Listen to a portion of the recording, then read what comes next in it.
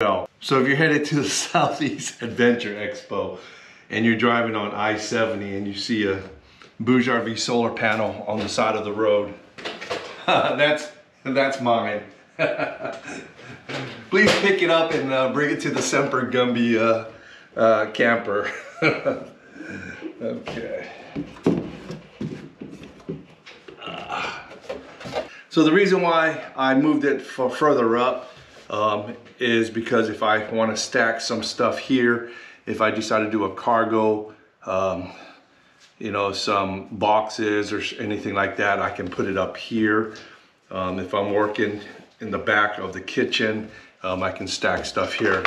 Also, um, I am going to actually um, route these cables here and I'm going to actually put them up on this bracket